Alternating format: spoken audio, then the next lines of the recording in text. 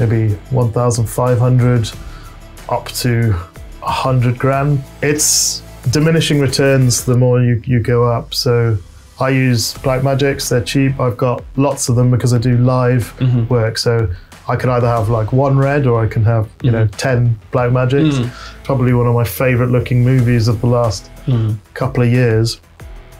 And my favorite scene of that was shot on some 50 pound lenses. You could be wrong and fix it in post. It's all about the story you want to tell. What's the price range for the cinema cameras? Oh, they can vary massively. So you can go from like a, I don't know what the cheapest cinema camera would be, maybe a Blackmagic. So you can go Mhm. from maybe 1,500 up to 100 grand plus for like an Alexa And of there's, some and there's just the camera without without the optics. Yeah. And I mean, you can get one lens for 100 grand. Do you get like the right anamorphic. Can you explain to me? Is it worth it? Like, does the picture really looks like it was shot like at 200 grams if you take like a camera and a lens, in comparison to like any kind of other camera that is also cinema camera, but it's kind of like you know in the entry level or maybe mid level range. No, I don't think it, it's diminishing returns the more you, you go up. So I use Blackmagics, they're cheap. I've got lots of them because I do live Mhm. work. So I can either have like one red or I can have, you know, 10 Blackmagics. And I actually slightly prefer the, the image of the Black Blackmagics, not because it's better, because it's like we said, it's more, to me, human, it's more human.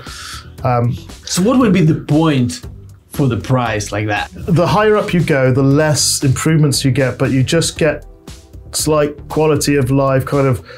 You have a bit more dynamic range, which means that you're not having to fight the hmm. exposure so much. You could be wrong hmm. and fix it in hmm. post. Like, uh, if you, the more dynamic range you are, the more, the less you're going to overexpose the sky or underexpose the shadows. So there's that side of things. Um, they could have better metadata, which helps you with post work.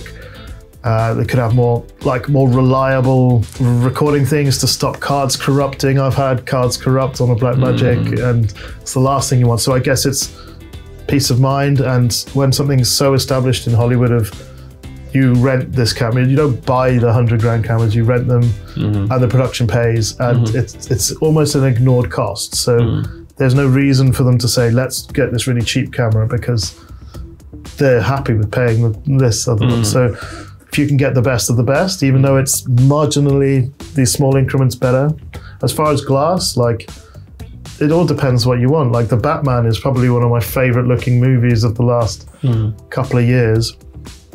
And my favorite scene of that was shot on some 50 pound lenses Yeah. Uh, and they were just adapted and that's the, the scene with the batmobile and you can buy the lenses they shot on ebay for about 50 pounds And why did they use those lenses?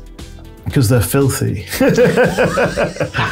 They've just got such an organicness to it that's just problems which lots of people like and it's Yeah. like why people like anamorphic because they look not right and they've got a mm-hmm. tone to them that it's again adding that humanity organic mm-hmm. flares and bits where it's out of focus here and mm-hmm. warping a bit there and when you have like again it's like with with the um, the reds they're pristine and you can get like uh, ARRI Master Primes, which are like really good lenses, but they're super clean, super sharp. They've got nothing interesting about them, but they're good at capturing. And again, they're two that go together in heaven, which is the red and the ARRIs. If you want something super pure, but lots of cinematographers now they're like, what we want to find this dirty lens and adapt it and like again, um, Army of the Dead by Snyder, he found some really cheap lenses hmm. and he adapted them and he was like, these are crazy and just shot a whole movie on them. And there's problems all over it, which are kind of cool. And he's like, most uh, loads of these shots are out of focus. He got told in an interview, and he hmm. said, "I'm surprised half the film is in focus because these lenses are so crap." But he loved it. He loved the look of it. that's that's interesting. Like, so you just you just shoot yourself in the foot, and they're like, "Well, yeah, that's great." But it just gives a tone. It gives a vibe. Like you do, you wouldn't watch Batman and go, I wish this was shot on master primes because that's part of the tone. It's the mugginess of the city. It's the hmm. dirt. But again, you don't want to shoot a, a Christmas film like that. Hmm. They want to be shot like pristine and everything's perfect and everything's. Hmm. Well, may, maybe you do, but no one will let you.